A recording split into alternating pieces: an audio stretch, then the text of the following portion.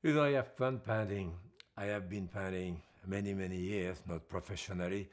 And I used to paint mostly with oil for years and years. And now I paint with oil, but also with acrylic, probably more with acrylic. Also probably paint more on paper, like this fun painting, like I do a lot of chicken uh, for some reason. but maybe more than anything else, I do menus.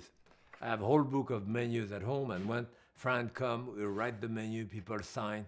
So those book of menu are real memory for us, and it's fun to do them.